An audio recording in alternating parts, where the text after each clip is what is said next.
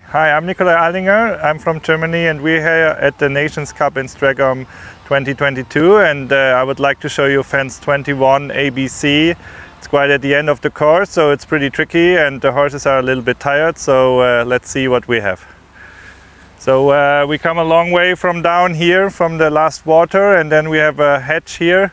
So we have to take the angle a little bit like this because we have the skinny one down in the back there um, you have to take the canter and then you have the five stripes to the skinny one and then to another angled hedge so it's quite difficult uh, to have the horses on the legs and uh, between your legs and uh, yeah let's see we walk to the skinny one. So you have to keep the line come straight here and then keep the canter and then we walk straight from this hedge to the skinny one here. Which is pretty skinny and pretty long. So and then we have another hedge um, on an angle on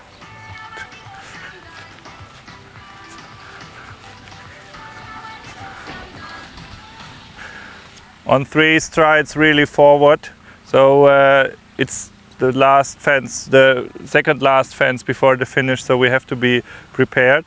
But uh, like Marcin here, the course designer always know you have another option, so we can walk the other option too.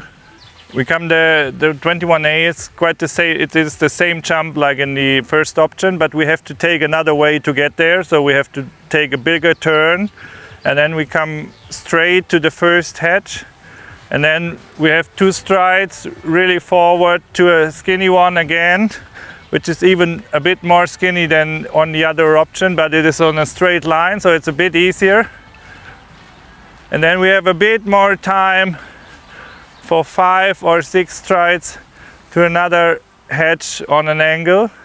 So, um, which is also quite um, difficult but for me, I think with my horse, I take this option because he's a bit straightforward horse. You don't have to turn too much in between the fences.